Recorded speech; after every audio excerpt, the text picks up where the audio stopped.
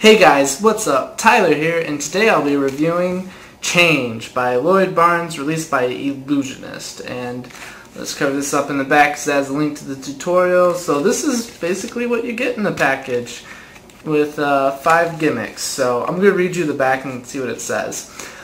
Change Volume 1. I don't think there's going to be a Volume 2. I'm going to get into that in a second, is five visual miracles that will change your life. Now remember, this is what they're saying. Lloyd Barnes has harnessed a principle so advanced it allows you to perform what people will swear is real magic. A no slights, no cover concept that will destroy the limitations of what's possible in magic. Pick up Change today and change your magic forever. So that's the hype around it, and for $30, you can buy into that claim, which is what I did.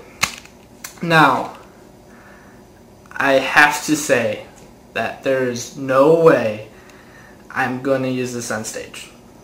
No way at all. It's... I can't really show off the gimmicks here. Um, well, I guess I can show off some of the backs. Looks like this. Now, the camera I'm using can't pick up the color discrepancy, but here's a regular Red Rider back compared to the gimmick. So this right here is the gimmick, and this is a regular Red Rider back. The hue of red is a lot stronger in a regular Red Rider back compared to the gimmicks that they give you. It's almost like this orange hue. Now on the gimmick side, it's um, it's the hue of red that we need for a Red Rider back, but the other side is just this kind of orangish color. But on camera, you can't see that.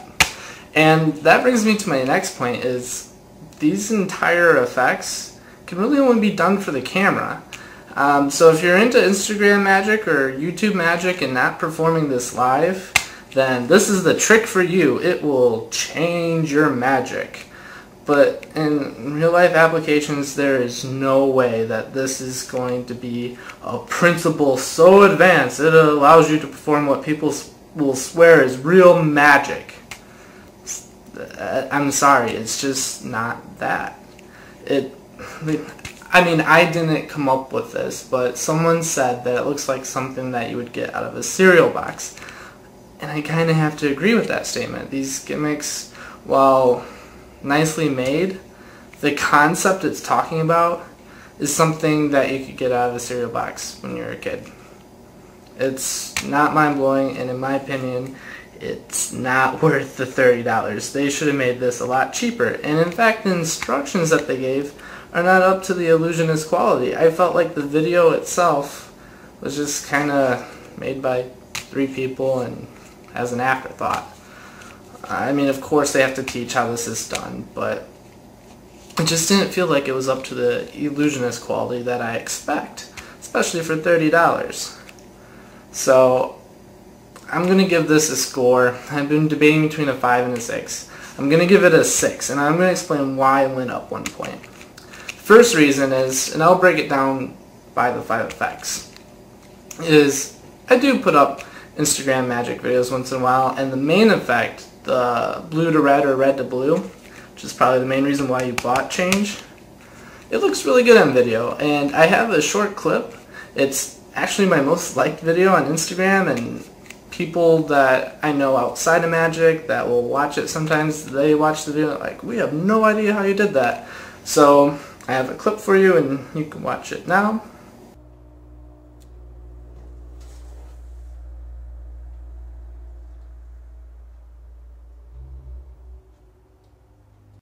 Alright, thank you. So, that was a clip that a lot of people liked, but could not do that live. I couldn't. Um, there's two effects in this that I will do live, but it has to be under certain settings and I would never do it on stage. None of these effects should be used on stage. You will look like a fool if you do. Um, there's one that I would do, well, both. I would do them very dim lighting. One you would want a little bit more lighting than the other just so that they could see it better.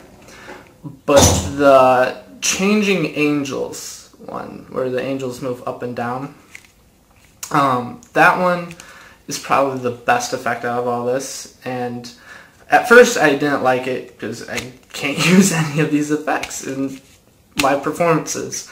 But I came up with a routine that I'm going to try on actual people, and I'll give you some test footage. It's not like an actual performance. I just came up with it just to try and redeem myself for having a $30 trick that I can't even use.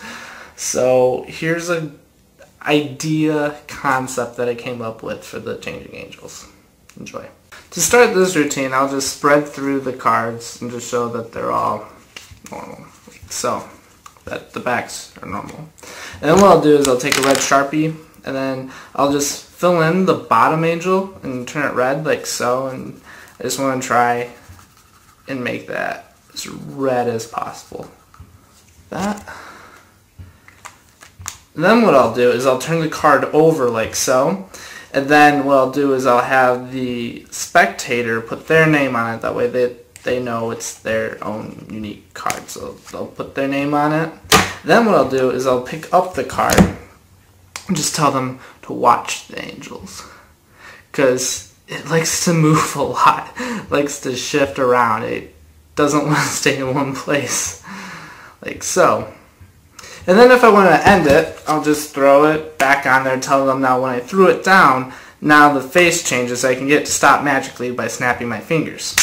What? You don't believe me? Well, look, now it's no longer hopping, and this is for you to keep. And the rest of the deck is normal, as seen there. And that's the routine I came up with. Alright, thank you for watching that. Um, so that one's probably my favorite effect out of this. The next one is the blurry king effect. This one's a little bit more difficult and you probably need some better lighting for this. Now I know the last video was probably pretty bad because the lighting is too intense. You want right now for this video, you want very dim lighting when performing these effects. And I wouldn't do it more, um, excuse me, I wouldn't do it for more than one to two people max. Maybe three if you're really ballsy, but other than that, I wouldn't perform for more than three.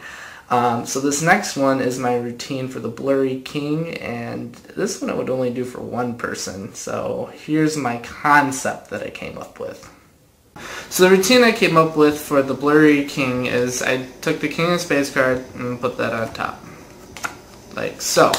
And then what I'll do is I'll tell the spectator, I want you to think of this card as a blurry card, that it's going to go make you have this drunken feel effect. Remember, this is probably done later at night, maybe done after going to the bar or what have you, or just someone's acting loopy. So what I'll do, I'll just pick up the card, and I'll hold it to them and tell them to watch.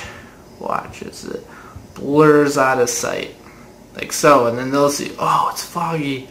Oh man, it like changed or whatever. And then what I'll do is I'll create like this spinning motion and tell them, watch, I can fix your vision like that and stop it. And then they can examine it and it comes in to focus once more, throw it on top and then show bottoms as normal again. Of course, spread through. That's the routine for the Blurry King. Alright, thank you for watching that. Um, the other ones, the headphones through the card, I would not do live. I would probably put it in an Instagram video, but I don't have white headphones. It has to be done with white headphones. Um, and my headphones are blue, so I can't perform that effect. And then the coin changing one is just absolutely stupid it's pointless. There's like, I don't even see how you could get away with this even on Instagram. There's just so many discrepancies with that change that I think that they just put it in there to make five effects.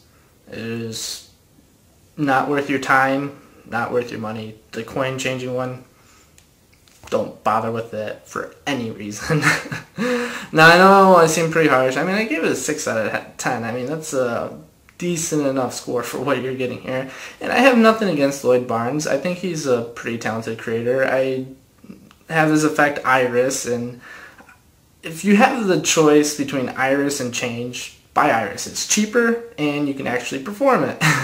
this you probably won't be performing for anyone outside of Instagram and YouTube because you need that special lighting and you need those special angles because this is extremely angle sensitive to the point where it's almost impossible to perform for real people because they're going to see through the gimmicks because people have seen stuff like this before. I'm not going to give away what the gimmicks are, but I'm pretty sure they have seen it before and played around with them when they were kids to give you a clue.